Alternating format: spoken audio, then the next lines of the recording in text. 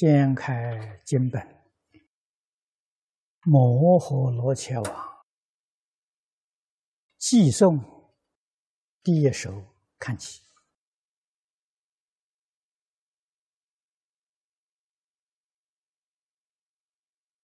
在寄送的前面有一首设计仪啊，我们念一念。二是善慧微光摩切罗切王，成佛威力普观一切摩诃罗切众，二说颂言。那么这个设计的仪式，前面我们读的很多了，最重要的。是提醒我们，还是一个恭敬心啊！上求佛道，下化众生啊！从这里看到，诸佛菩萨的确是昼夜常念，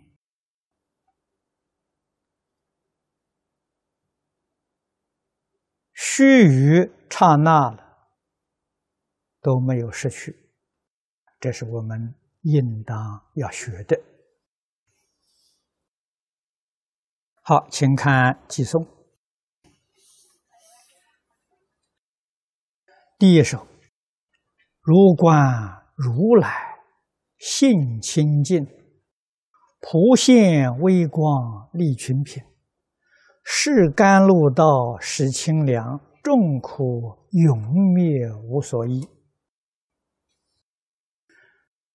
这个第一首就是善慧王，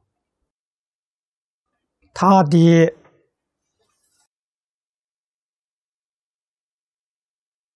赞颂，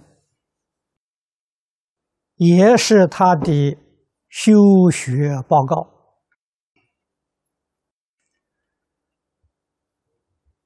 长行里面。我们读过，他得的法了，是以一切神通方便，令众生积功德。从这个地方修行正果的，这个赞颂里面这个四句，我们应当。怎样啊来学习？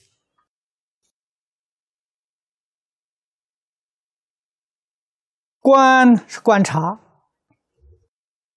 正是世尊在《十善业道经》里面教给我们观察善法啊，善法里面究竟圆满的。根本法是自信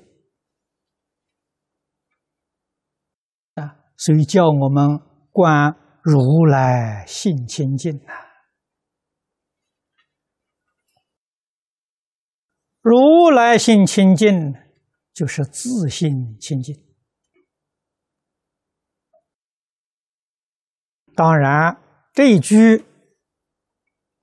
说起来容易，做起来却不是容易事情。为什么呢？如果不是明心见性的人，你怎么能够见到自信？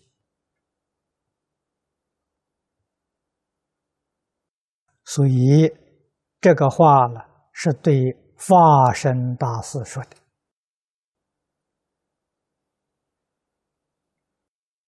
原初住的菩萨，破一分无明，见一分自信，正一分法身，其如如来的境界。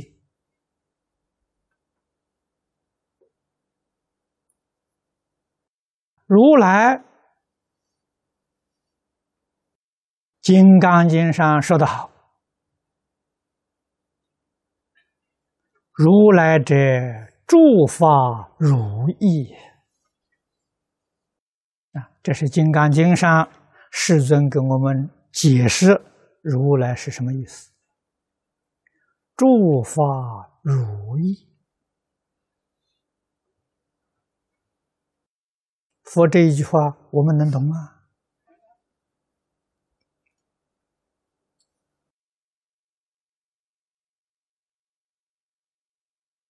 要用现代来话呢，诸法是一切法，一切法就是如来，一切法就是真如自性，这叫诸法如意。谁知道呢？我们在禅宗语录里面看到了，啊，古时候。宗门些大德。开悟了，大彻大悟，明心见性了，啊，去找他的老师印证，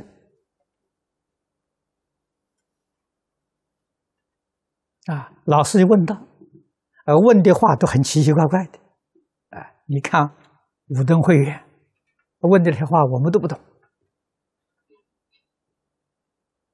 啊，可是。这个悟道的人听了之后啊，他懂。啊，也有用言语答复的，也有不用言语用表态的，也有随便念一物比划比划。啊，这个老师点点头，给他印证了。啊，无论是他说话也好，不说话也好。表态也好，动作也好，无一不是显诸法如意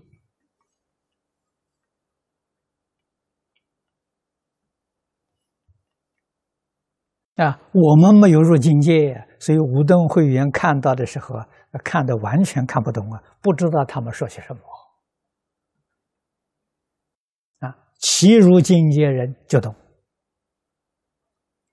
你就能看出味道啊！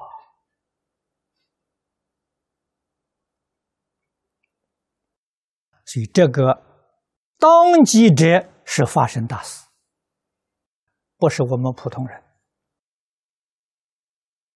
我们普通人呢也能学习，虽入不了境界，要懂这个道理啊？为什么呢？我们才不至于功高我慢啊！才知道自己真不行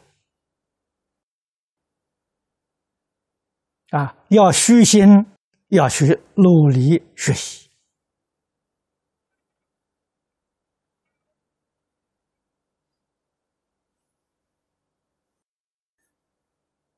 虽然呢，不能齐入境界。我们退一步，相似境界；再退一步，观行境界。啊，换一句话说了，我们不能见到火，感到那个火的暖气，这比较接近了。这是。一般人讲的气氛啊，没入境界，能够感受一点气氛，这就很有受用啊！必须要接近道啊，不能远离呀。如来性清净。我们总结教学，归纳了十句二十个字：啊，真诚、清净、平等、正觉、慈悲，这就是如来心清净。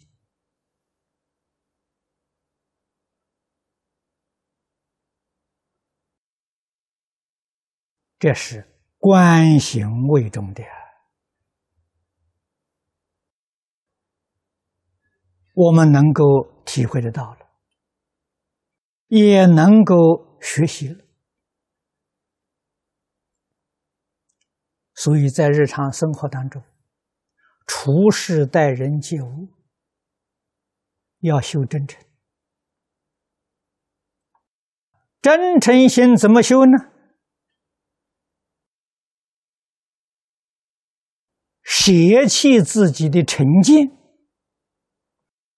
真诚心就能现前。一般凡夫起心动念总是我的看法、我的想法，我以为怎样怎样，这就不行了。这是凡夫之见呐，这就叫迷惑颠倒。把这些念头通通舍弃。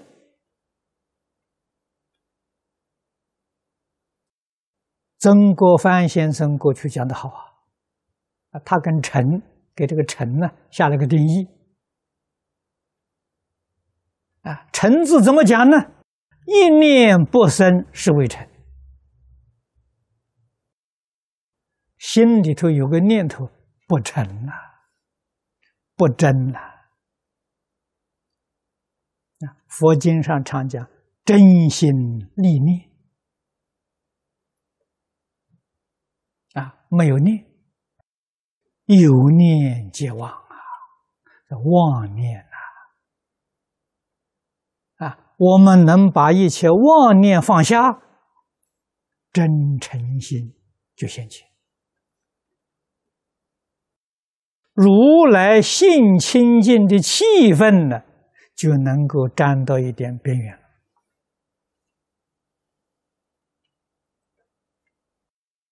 清净心是决定不染污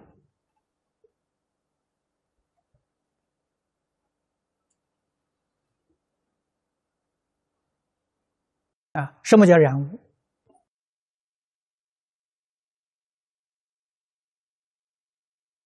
你心里面还有牵挂，还有忧虑，还有疑惑，只要有一丝一毫，你的心就不清净，被污染了。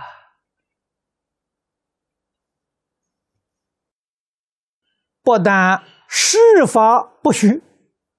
他会染污，佛法也不许啊！如果你心里头有佛法，你心里头有如来，心里头有清净心，你已经被污染了。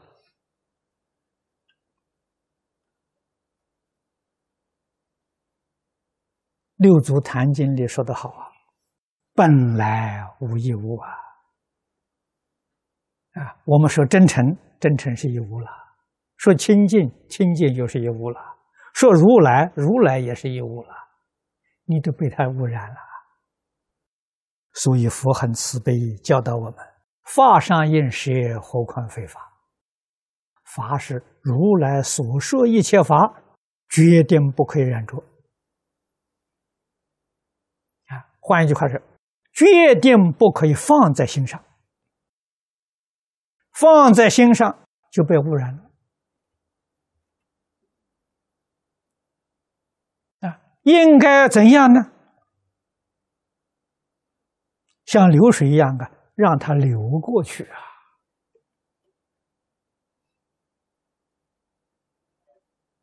决定不娶她了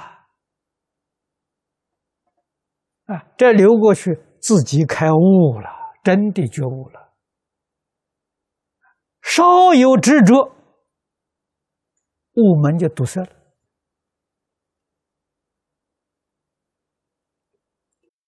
所以法不能不舍，啊，不舍你就决定不能开悟，啊，你的悟门被堵死了，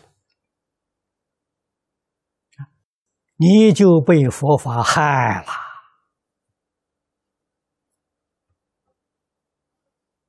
啊，所以马明菩萨在《起心论》里面教给我们，啊，《起心论》是很好的一部书啊，教初学的，啊，大乘起信，你看到这个名词就知道，这是最初级的教科书，入门的教科书，啊，他教导我们怎样接受佛的教诲呢？第一句教给我们：立言说相，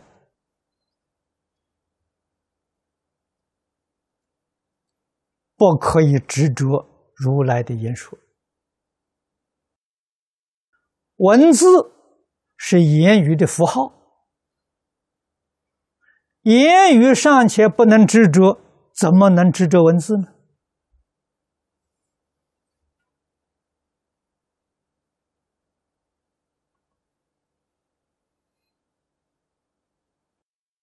这是真正懂得佛法，真正会学，在佛法称之为善学。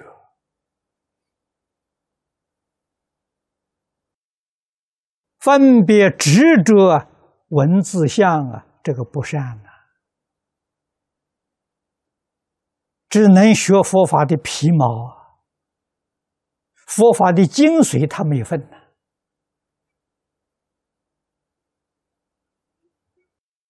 第二条教我们不要执着名字相，名字名词术语，如来是名字，信是名字，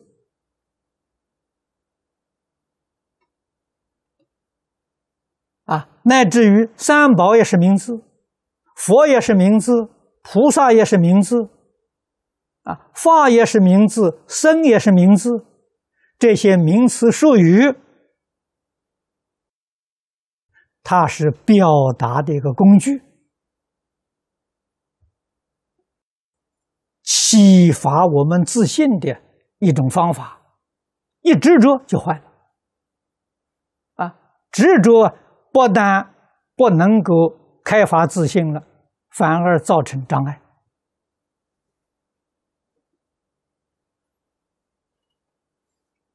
古大德。有一个很巧妙的比喻，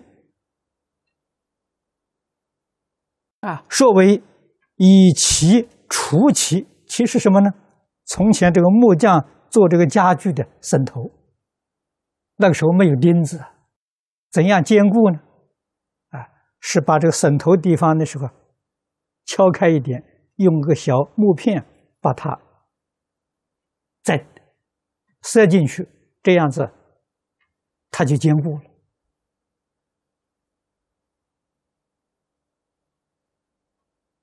啊！用这个比喻，这个叫起啊。如果我们把这个绳头打出来，哎，再用一个来敲的时候，就把它敲开了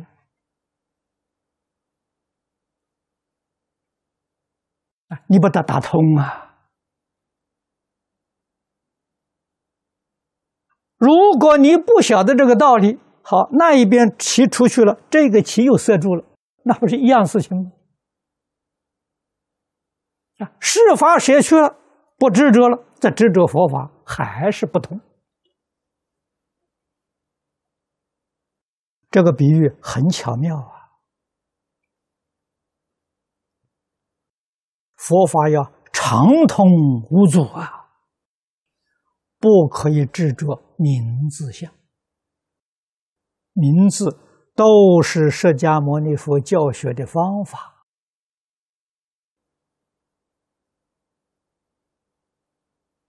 帮助我们明心见性的一种工具。啊，工具需要用，不可以执着。好比我们过河，在从前过河要用船，船是。过渡的工具，到了对岸了，就要离开船了，船要卸掉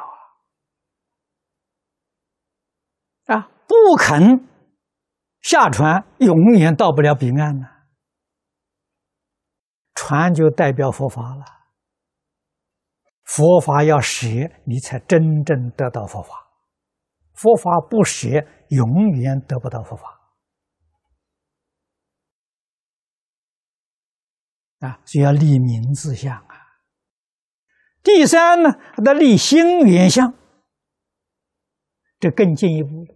心缘相是决定不能用自己的思维想象来解释佛法。佛法没得解释的啊！我也曾经说过多遍，佛法蛮有意思啊！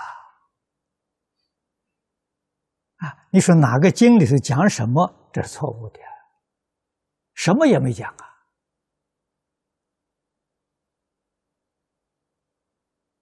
啊！啊，初学的人听到这个说法，听得太玄了。啊，那佛法什么都没讲，我们学什么？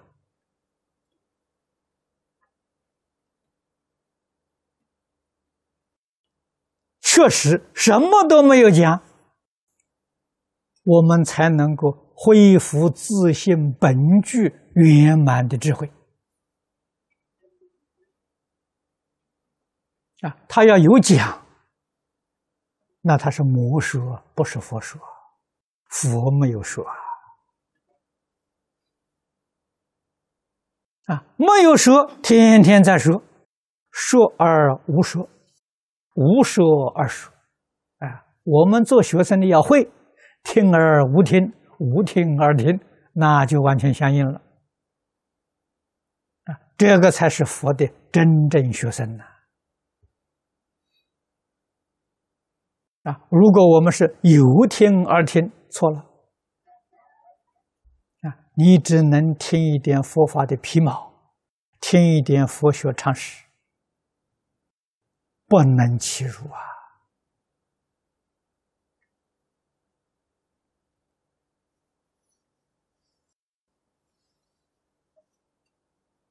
啊，如来性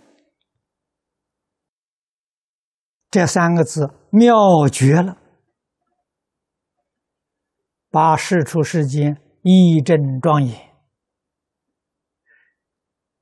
体相用，全部都包括在其中，就跟本经经体大方广的意趣完全相同。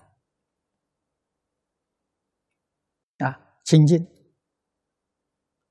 体清净，相清净，用清净，无疑不清净。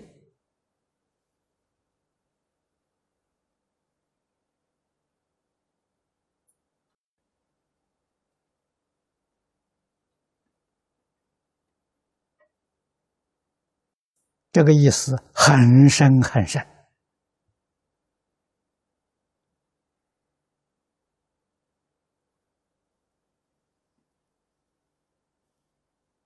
我们要细心去体会。普现微光利群品啊，微是微德，光是光明。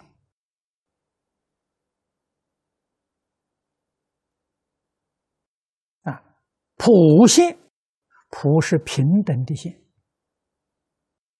决定没有分别执着。啊，微光是说的什么呢？设法界一真庄严，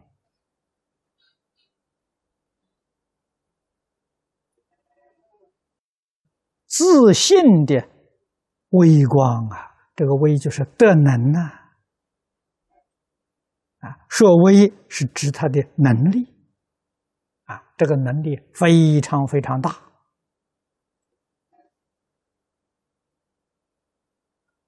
啊，经里面所说的，唯心所现，唯识所变，能现能变。用这微光两个字来说明来形容。群平是十法界的众生利益他们呢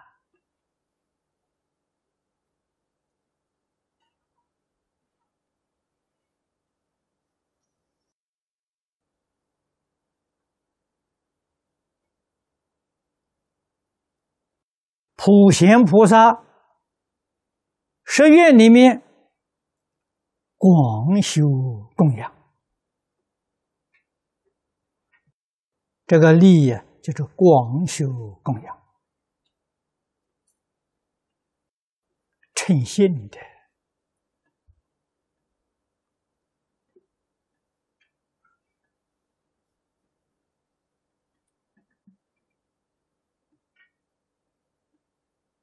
方方面面都顾到了，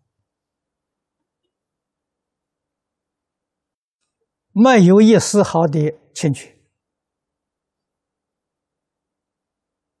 也许有同修听到这个话起了疑惑，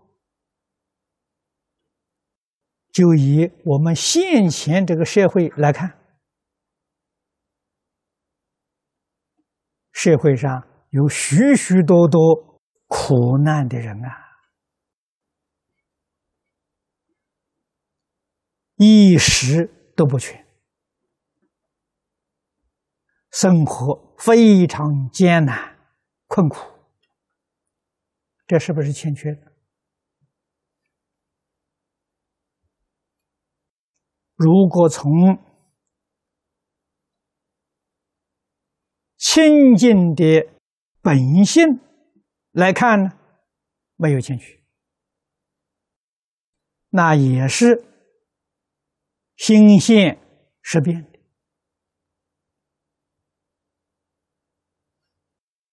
为什么会变得这么辛苦呢？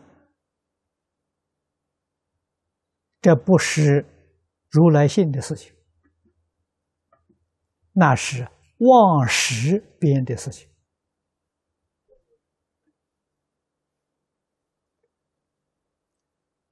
妄事是迷失了自信呐，造作种种不善所感得的报应，是这么个道理啊！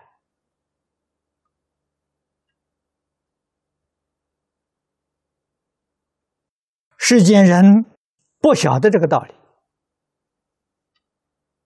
不明事实真相。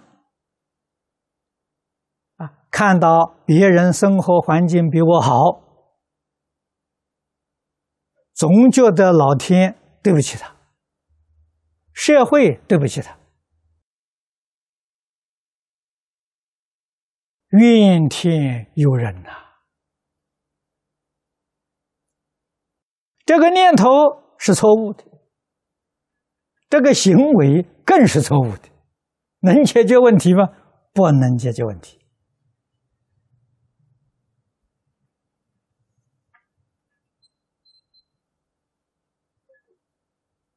一定要了解事实真相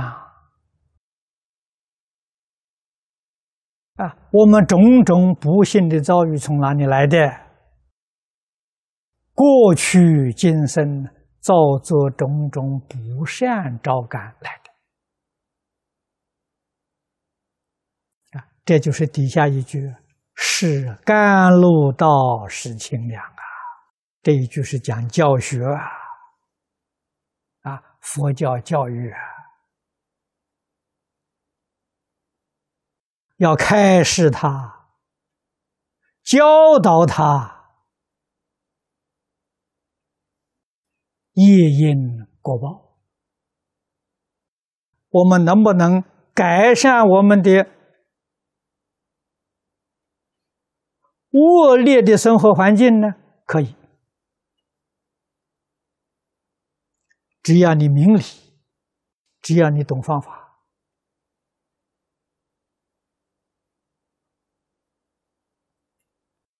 这些例子自古至今很多啊。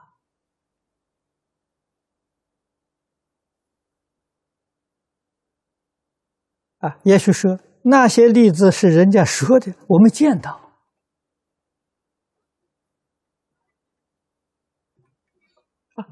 古人书籍记载这些东西，大概都是劝善的，未必真有其事，那你就错了。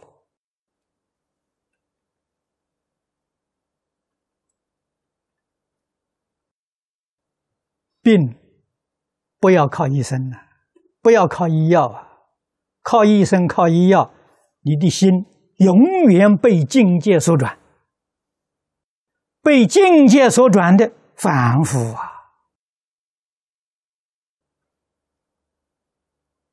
《楞严经》上，诸位去念念看。佛说的好啊：“若能转境，则通如来。”佛菩萨不被境界转，有能力转境界。身体是属于境界。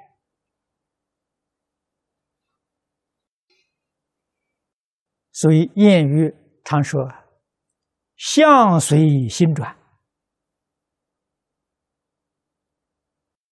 体质也随心转。”啊，你有病看医生啊，这个医生不错，啊，给他看看，果然病好了，是医生把你看好了吗？我不相信。你的病怎么好呢？信心好的，凡是一切为心造。你对于那个医生有信心，是你信心把你的病治好了。啊，医生药物只不过是外援而已，这个援增长了你的信心。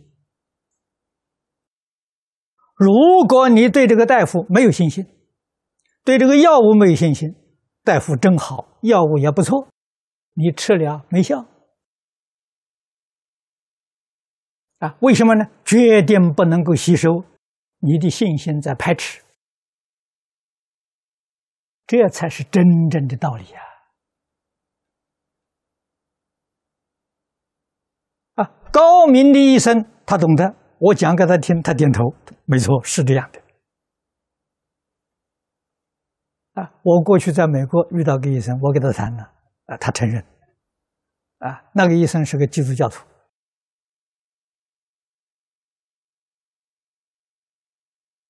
佛家讲的好啊，一切法从心想生呐，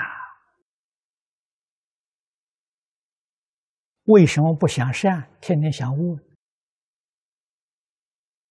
为什么不想身体健康，天天想病？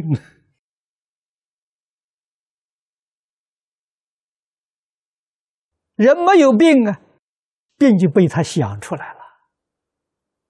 想去治这个病，你们想想看，这个病能治得好吗？永远治不好。不是他天天在想治病，他那个病根没有拔掉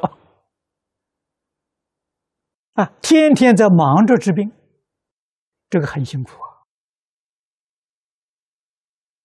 啊，为什么不把念头啊转过来呢？啊，诸佛菩萨、大阿罗汉，你看哪个是生病的样子？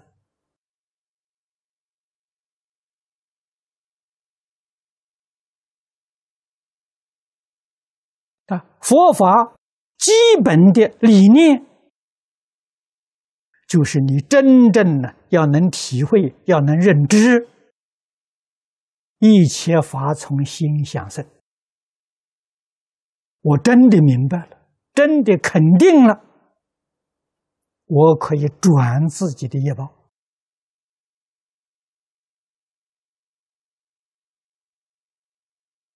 纵然过去往昔。造的种种不善业，甚至于造无逆十恶的罪业，只要能回头，没有不能转变的。啊，阿鼻地狱一念圆满转过来，就变成极乐世界。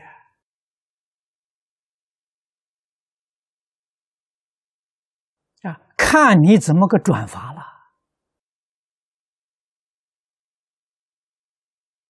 你能转一半，这人天福报啊！啊，转个九十度、一百度，啊，人天福报。一百八十度的回转，就是一真法界，就是华藏，就是极乐。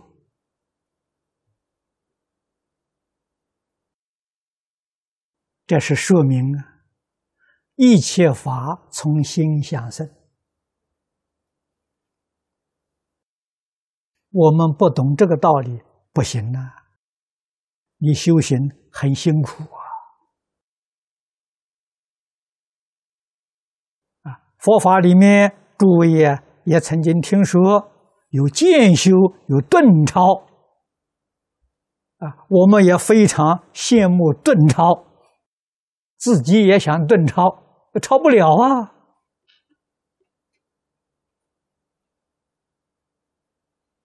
顿超确实有啊。所谓顿超，没有别的，念头转得快，转得彻底，转得就近啊。所谓渐修，渐修慢慢的转。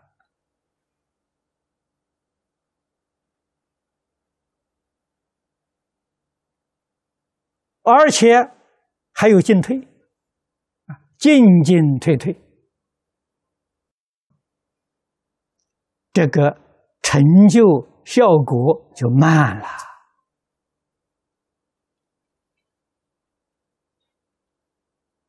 无论是什么方式，就是什么样的外援，那都关系不大。你真的放下了。转过来了，这果报立刻就变了。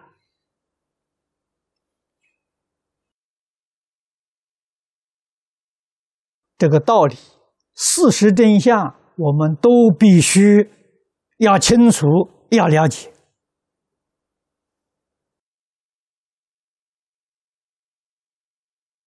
顿超、顿断，确实。不是一般人能做到的啊！每一个人在一生当中，就是善导大师的话，与缘不同啊。中国古老的谚语里面，所谓是“近朱者赤，近墨者黑”。这个说法跟善导讲的语言不同，意思是相同的。啊，我们每个人遇到缘不一样吧？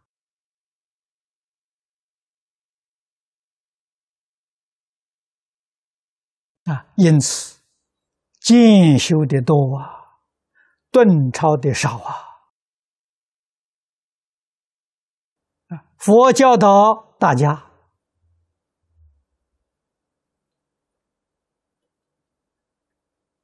各种法门都有，适应了各种不同的根性啊。我们不是立根，不是顿教的根基，那就走渐教，一步一步。慢慢的来，能不能成就，决定在自己将所学习的能不能落实。能够落实，你肯定有成就。啊，不能落实呢，那就谈不上。啊，落实就是要做到啊。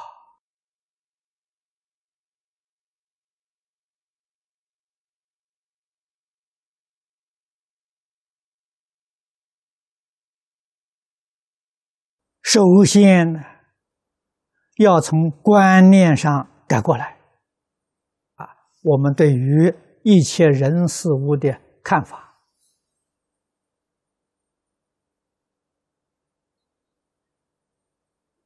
世间法里头也说了，建立人生观，对人生的看法，建立宇宙观，对宇宙的看法，这非常重要。看法要正确。啊，经论里面说的很多啊。其次，要在行为上修正一切错误，这叫修行。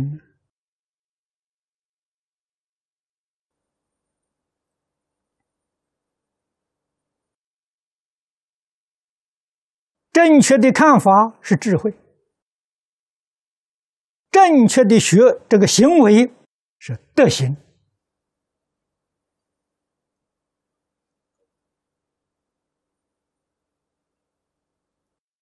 这两者要相辅相成，啊，这就是所谓看破放下，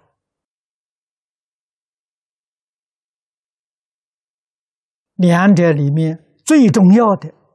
还是归在行门，必须要改习气毛病呐！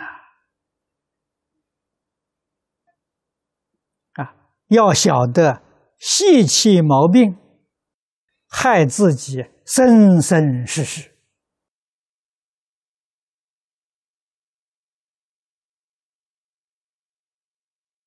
不是一时。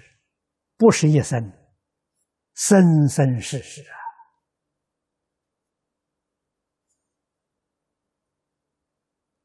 佛在经上说的好啊，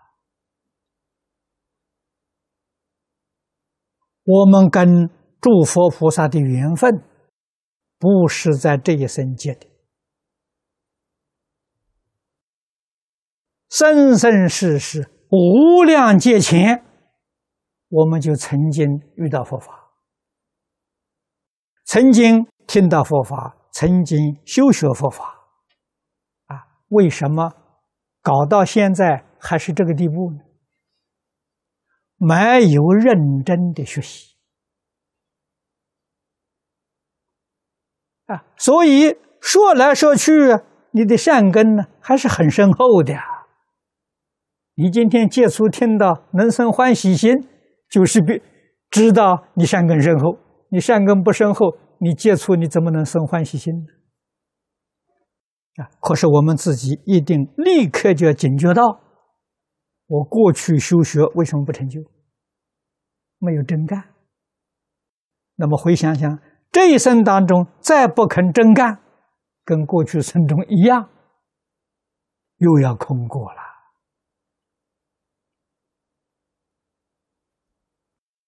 真正觉悟啊，一定真干。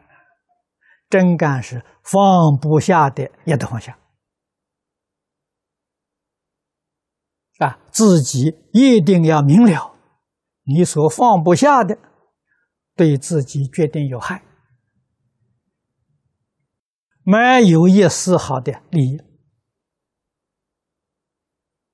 啊，名闻利养要放下。五欲六尘要放下啊！决定学诸佛菩萨，一切随缘，不攀缘！攀缘是什么？自己有希求心是攀缘，随缘没有希求心呐。随缘的心永远是清净的，永远是平等的啊！攀缘的心。不清净、不平等啊！在这个修学过程当中，清净平等是关键！清净是戒学，平等是定学啊，慧不必学啊，清净平等，决定开智慧。应戒得定，因定开慧啊！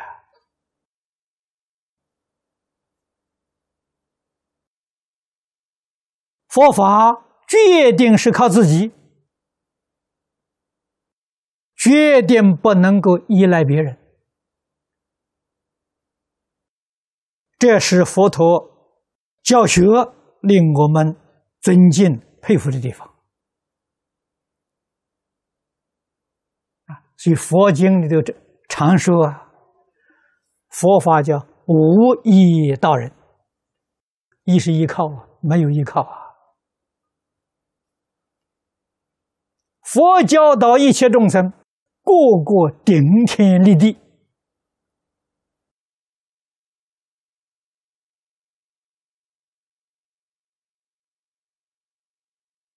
有依靠错了。你那个靠山倒掉，你怎么办呢？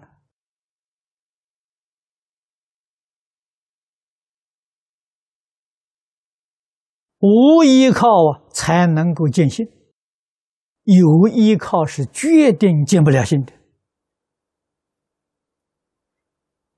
啊，我们今天两耐三宝加持啊，我们能不能见性？不能啊！啊！可是，在今天呢，又不能没有依靠，像什么，像小孩，啊，呃，两三岁，他不靠父母不行啊，非依靠不可啊！啊，我们今天这个佛法，幼稚园的佛法，一定要依靠父母，依靠老师，依靠诸佛菩萨，依靠善知识，啊！但是要记住，不能永远依靠。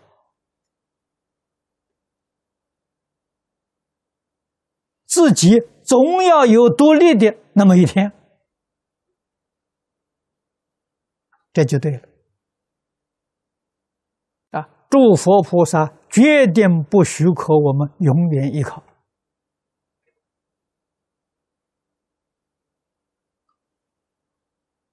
啊，所以在三皈依里头，这个皈依有层次的。啊，皈是回归。回头亦是依靠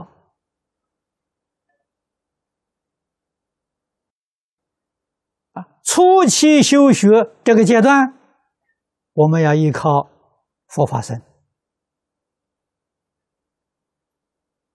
啊，像我们今天依靠释迦牟尼佛了，依靠释迦牟尼佛留下来这些经典的法宝啊啊，依靠这些。讲经修学的大德们，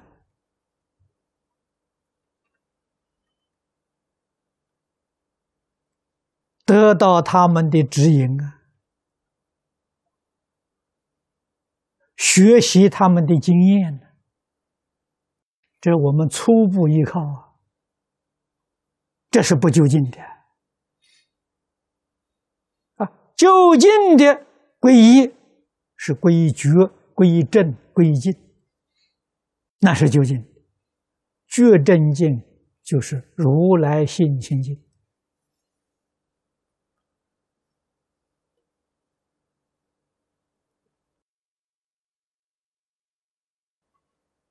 啊，摆脱对一切人事物的依靠，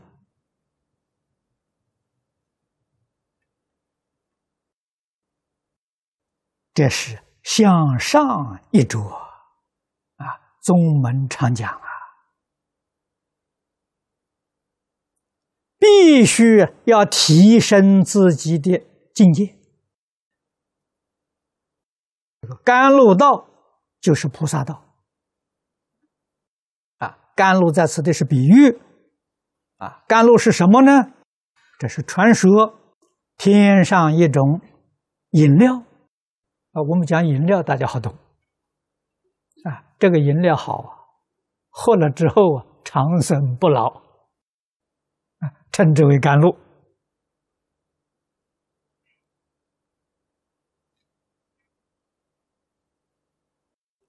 清凉，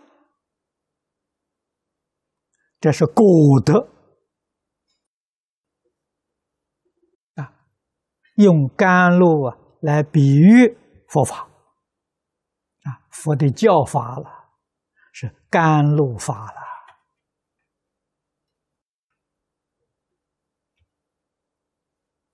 这个比喻一点都不过分，佛法确确实实。让我们永远脱离六道轮回，超越十法界。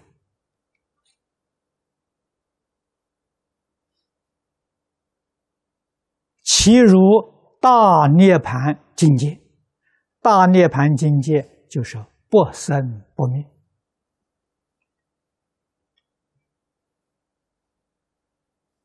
使我们永远。脱离烦恼，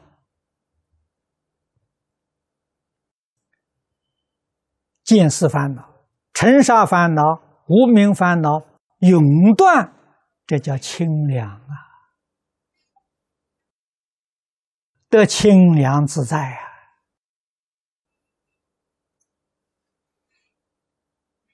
烦恼从哪里来的？从迷失本性。而来的这个东西本来没有啊，迷失了本性，迷失了宇宙人生的真相，这个里面产生了烦恼。我们对一切人、对一切事、对一切物。生起无量无边的妄想，妄想是烦恼的根源啊！从妄想里面生分别、生执着，麻烦就来了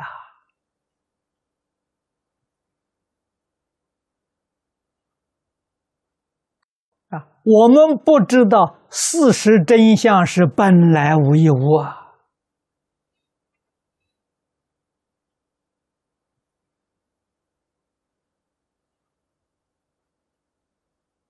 这个就是所谓是起火造业，下面就感果报，果报是三途六道。啊，果报是我们这一生的所受的，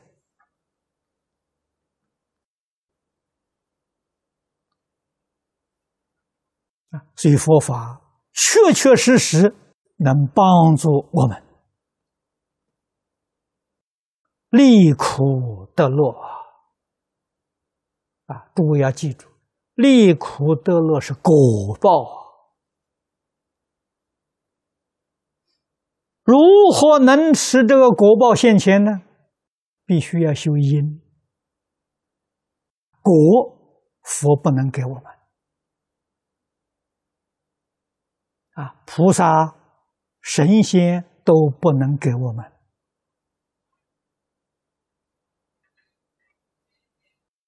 所以佛法是教学，教你开悟，教你修因。你把那个恶的因断掉，恶的果报就消失了。啊，善的因修成了，善的果报就现前了。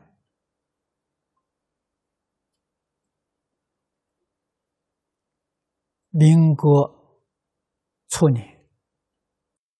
印光法师一心提倡《了凡四训》，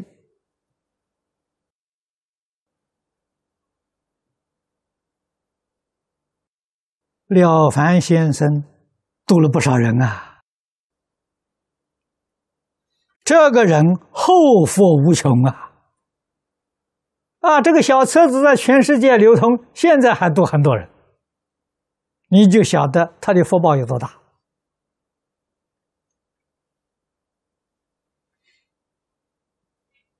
啊！那我们知道他以后念佛往生了，他在现在在极乐世界了这个小册子的教给我们什么呢？教给我们呢，深信因果，说明夜因果报的道理与事实真相。我们从这里生信心啊，这是事出世间法断恶修善的基础。的确是一本好书啊！过去我曾经讲过几遍啊，我们从这个地方啊。启发信心啊！真正相信种善因必得善果，造恶业必有恶报，因缘果报丝毫不爽啊！啊，我们相信了。应该怎样去做？那你首先要有能力辨别什么是善，什么是恶。啊，善恶有个标准呐。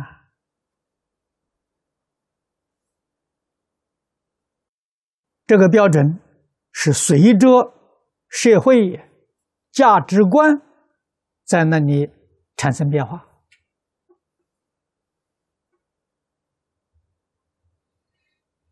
我们要有智慧，要有能力辨别，啊，现在人所谓的善是不是真善？现在人所说的是恶，是不是真恶？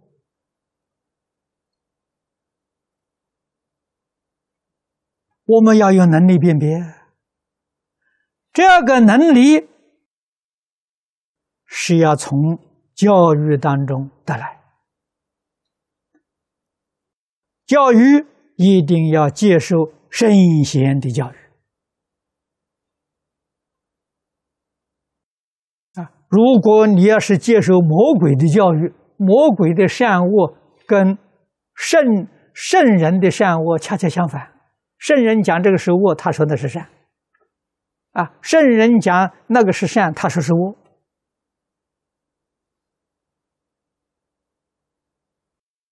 今天的社会。佛在《楞严经》上讲啊，邪思说法如恒河沙了。邪思是什么人呢？妖魔鬼怪呀！啊，你比如说，古圣先贤、诸佛菩萨都教导我们，戒俭是善。今天社会教你们消费是善，你要不消费，他就不能赚钱了。恰恰颠倒啊！那你相信现在人所说的，还是相信佛菩萨所讲的？你就要晓得，相信诸佛菩萨所说的，跟着诸佛菩萨走，将来我们会做诸佛，会做菩萨。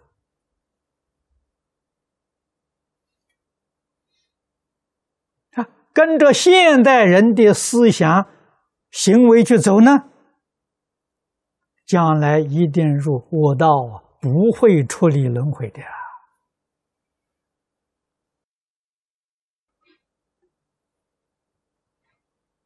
今天的社会麻烦在此地，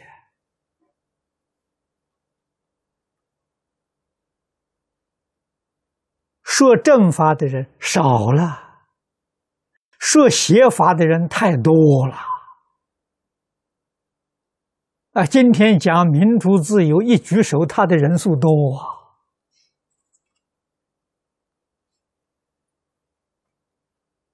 啊！啊，于是邪正颠倒了，正法没人相信啊，邪法大大的畅行，这怎么得了呢？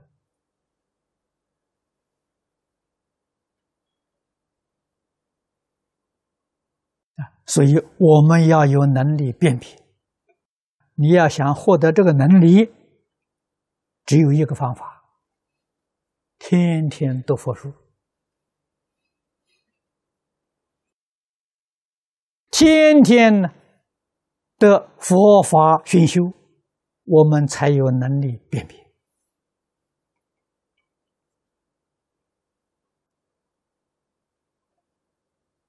这里面有一个大道理，是我们对于古圣先贤的教学肯定的认知。这个大道理呀，就是如来性清净，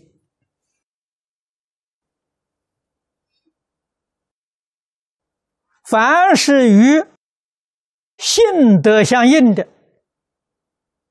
这决定是善法，与性德相违背的，这决定是恶法。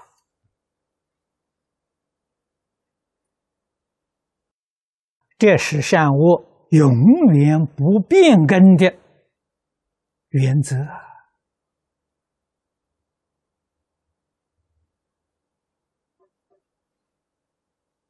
佛法里面讲善恶也有等级。无戒十善是最低的，越往上面去，说得越深，说得越广。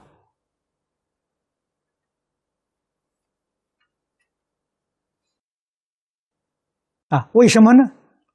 上升之后啊，你得。生活活动空间大了，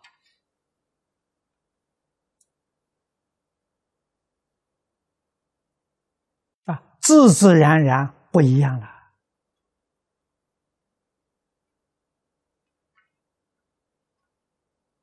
啊，譬如在过去的社会，啊，不要说多吧，一个世纪之前，一百年以前的社会。交通不发达，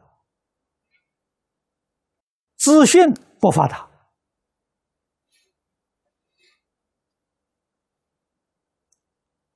生活在农村里面的人，确确实实几乎有一半以上，一生呢没有离开他生长的地方。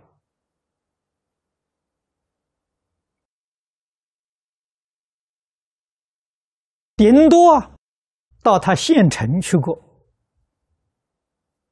啊，他自己的一个县，邻县呢没去过，一生都没去过的。这样的人很多啊，他生活的空间小啊，啊，他知道不需要那么多，啊，在这一个地方规规矩矩做人就行了，啊，就是个好人了。无戒十善足够用了。一百年之后的现在社会，我们的生活空间扩大了，啊，资讯发达，全世界任何地方发生一点小小的事情，我们立刻就知道了。啊，从广播、从电信里面就晓得了。交通便捷，生活在现代的人几乎没有一个人呢没有去度假旅游啊。不但在自己国家，全世界许许多多国家地区。常常去旅游，生活空间大了，于是我们需要的知识就广了啊，我们需要遵守的规矩啊也多了。每一个国家的法律不一样，风俗习惯、人情都不相同啊，入境要随俗啊。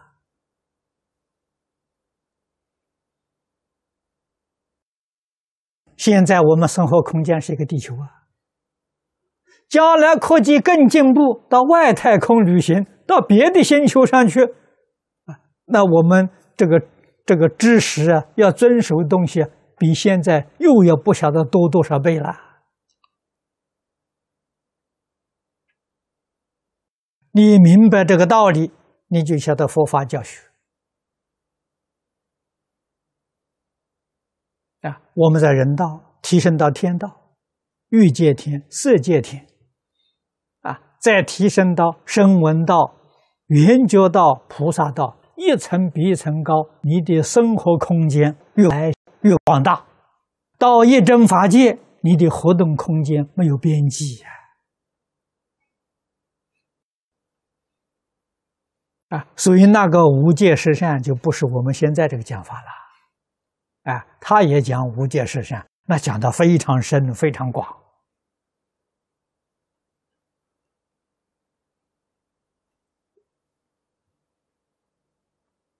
啊，可是他有一个决定不变的原则：得清凉，离苦得乐。啊，幕后一句：众苦永灭。无所依也，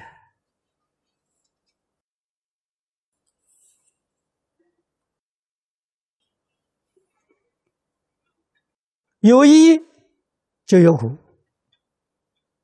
这个一定的道理你脱不了你所依靠，而且怎么样呢？常常怕这个依号依靠失掉。患得患失啊！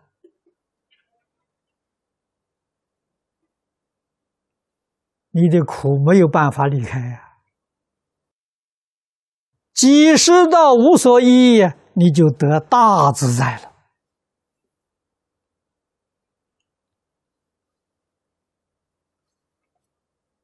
啊！人到无所依，才与诸佛菩萨了靠近。为什么呢？所有一切诸佛菩萨都无所依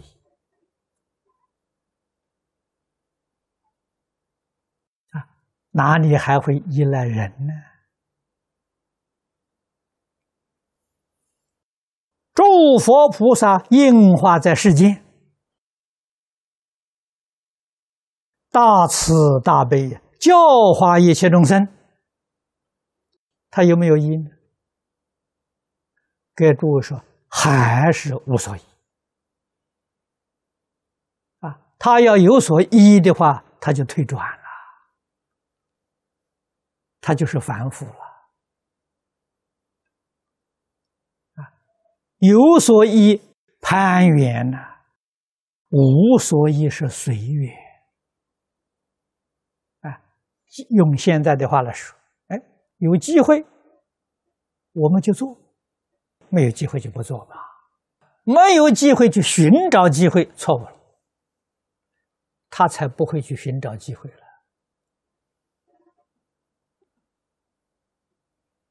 啊，中国古人有两句话说得好：“进则兼善天下，退则独善其身。”进退根据什么呢？根据机缘。有机会，我们要为社会、为一切众生服务；没有机会，回头好好修自己，独善其身。啊，看起来呀，好像是两桩事情，其实是一桩事情。独善其身呢，也是兼善天下了。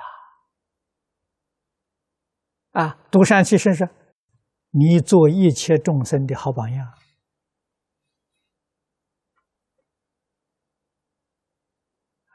总有一天呢，被你的邻居朋友发现了，啊，你这个人不错，我们要向你学习。啊，不过没有那么积极就是了。啊还是兼善天下啊！过去大魔祖师到中国来，机缘不成熟啊，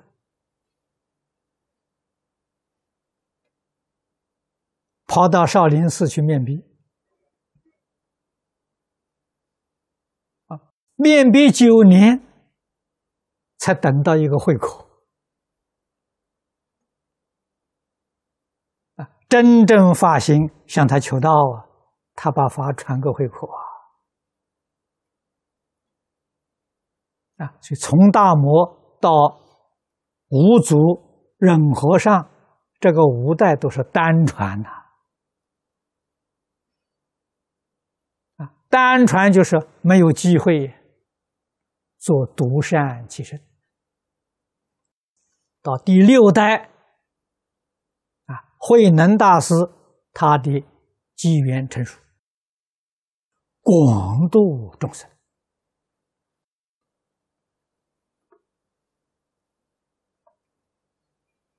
啊！禅宗在中国佛法里面造成决定性的影响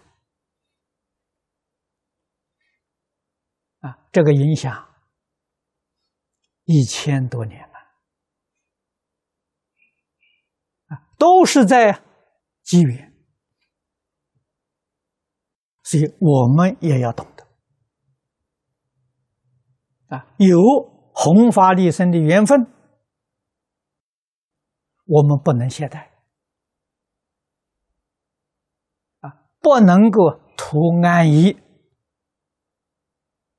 再辛劳都要去做。没有机缘，千万不要惹麻烦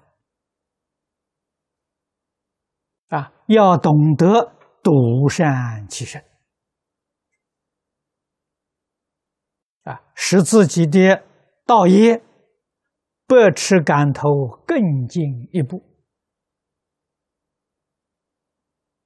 啊。那么由此可知，无论是进，无论是退。都是为众生，都是为佛法，绝对不是为自己。如果还有一念为自己，你不能解脱啊！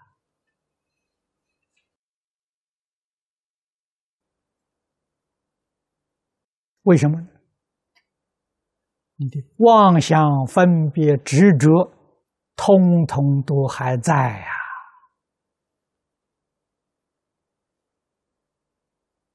只要这三桩东西都在，这个人决定是六道众生，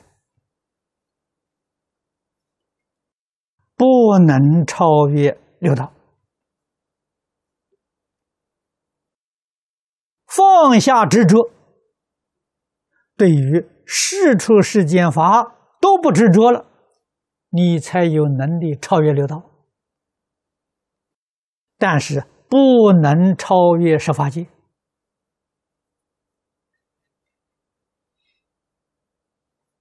啊？为什么呢？因为你还有分别，还有妄想啊。即使对于世出世间法都不分别了啊，像。《起心论》里面，马明菩萨所说的，啊，真正做到立言说相、立名字相、立心缘相，行了。这个时候，你有能力超越十法界啊，一真法界的境界现前了。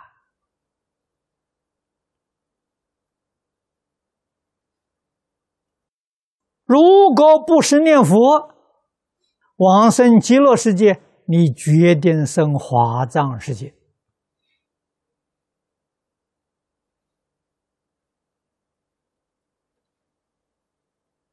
华藏跟极乐是一，不是二。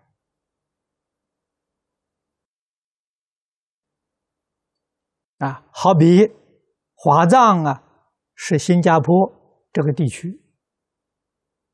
极乐世界呢是无界路，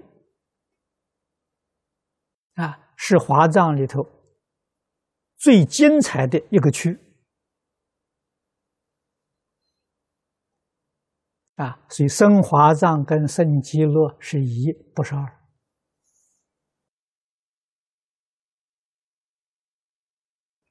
我们要明了啊，要有这个志向啊，这一生当中决定成就啊！不要再等到来生来世啊，那就完了，不知道又要受多少苦难。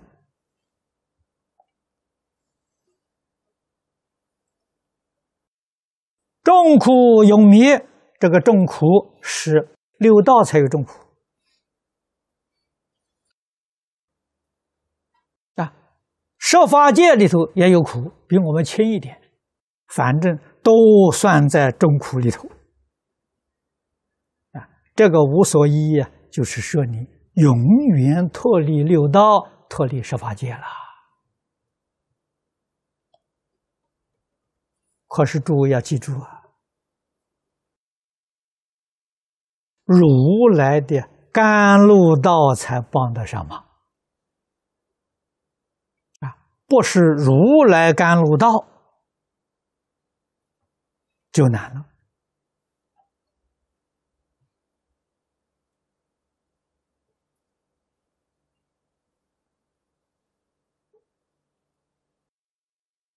难在哪里？大家要细细想想。啊当年世尊何以出现在印度？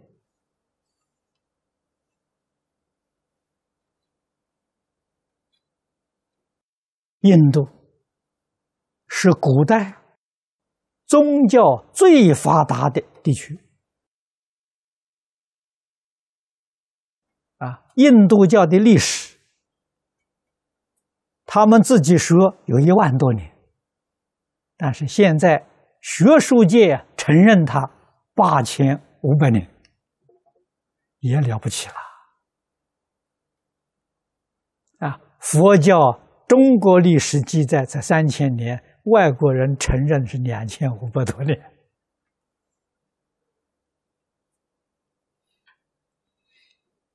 印度是宗教之国，印度当时那些宗教徒们。都修禅定，禅定的功夫能够突破时空啊，所以他们能够见到六道啊，他们确实有能力呀，到欲界天，到色界天啊，但是就是没有办法突破六道。释迦牟尼佛出现，帮助他。人家已经达到这个境界了，帮助他突破。啊，为什么他不能突破呢？他有所依。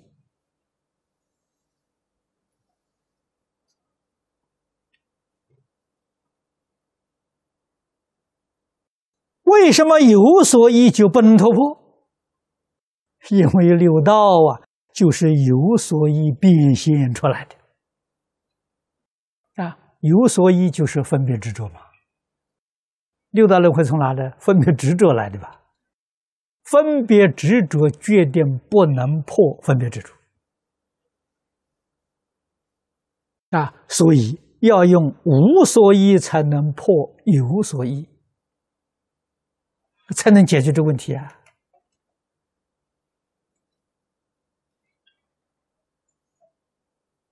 啊，所以佛法的时候，离一切妄想分别执着，不但超越六道，超越十法界，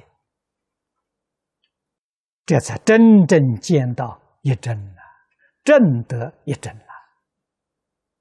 道理在此地。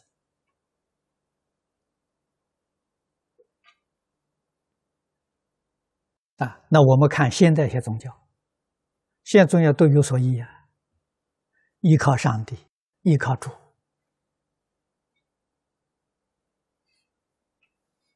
啊，不管他把他的上帝主定在哪一个位次，都是有所依。啊，你看一祷一祷告，啊，主啊，依靠啊。